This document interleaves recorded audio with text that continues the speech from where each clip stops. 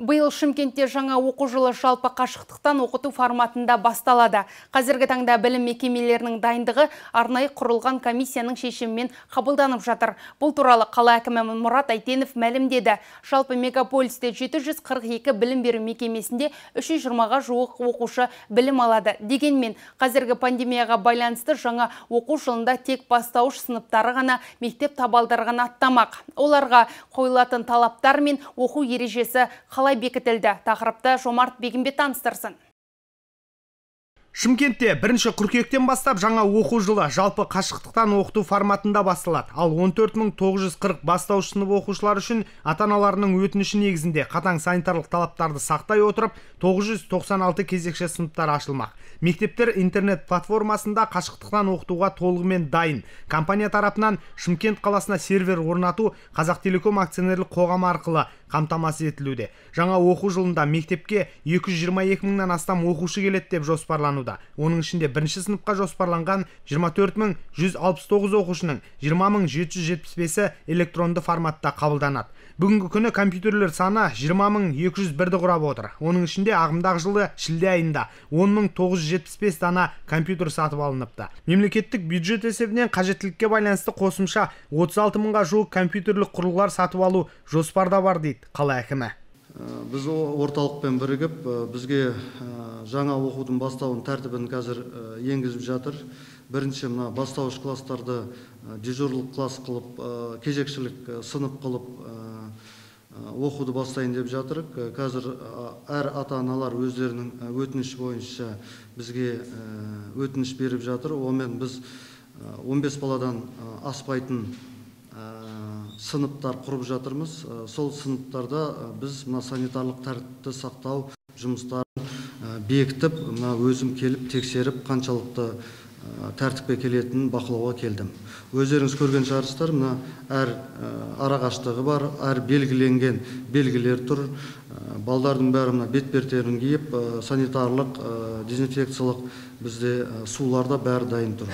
15 нысан құрылысын бастап кеткен болатырмыз биылғы жылда біз 8 мектепті аяқтаймыз 5100 орын.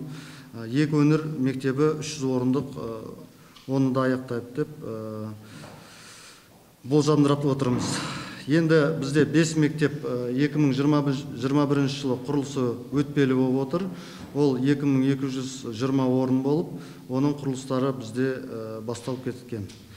Оған қарамастан біз ағымдағы жөндеу жұмыстарын бастағанбыз. Соның ішінде мына жүз пайызы қазіргі уақытта аяқталып отыр.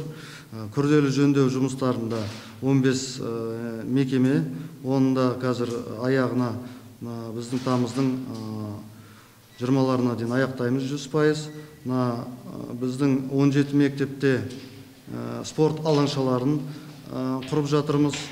Енді мына мың жеті жүз елу бес нүкте бейнебақылау камераларын орнатып жатырмыз.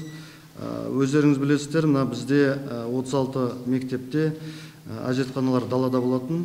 Соны біздің мемлекет басшысы тапсырмасымен биылғы жылда мектептердің бәрін әжетхананы ішке кіргізу жұмыстарын қолға алсын деген. Сол себептен мына 36 мектепте ішкі әжетханалардың бәрін ішке кіргіздік. Бізде 30 мектепте турникет болмаған сол турникетті орнатып қазіргі кезде жұмыстарын аяқтадық. Енді күзгі қызғы мерзімге мектептердің бәрін дайындықтарды біз аяқтадық. Жылыту маусымға біз 100% мектептердің бәрі дайын. Сондай ақ қаламыздағы 30 жалпы орта білім беретін орындар да оқыту жүйесін интернет платформасында жүзеге асырмақ. Білім беру процесі педагогикалық IT әлеуметтік гуманитарлық бағыттардағы мамандықтар толық қашықтықтан оқытылмақ. Ал технологиялық аграрлық медициналық өнер бағыттары аралас оқытылады. Яғни зертханалық жұмыстар мен өндірістік тәжірибені штаттық режимде жүргізу қолға алынады. Біз қазір балабақшалармен де бәріне тәртіп қандай алгоритм тәртіптерін бәрін тарқаттық. Олар қазір дайындалып жатыр. Бірінші бастамасы мен ойлаймын мына кезекшілік ретінде бастаймыз. Егер де жағдайымыз жақсы болып баратқан жағдайда ары қарай біз рет ретімен ашамыз деп. Класста сыныптағы оқушылардың бәрі біз ары қарай арақашықтан оқуға жобалап отырмыз. Ол жерде қазіргі керекті мына платформа басқа да керекті нәрселердің бәрін жұмысты бастап кеттік. Көп интернет жоқ ауылды мекендер бар өздеріңіз білесіз шағын аудандарда.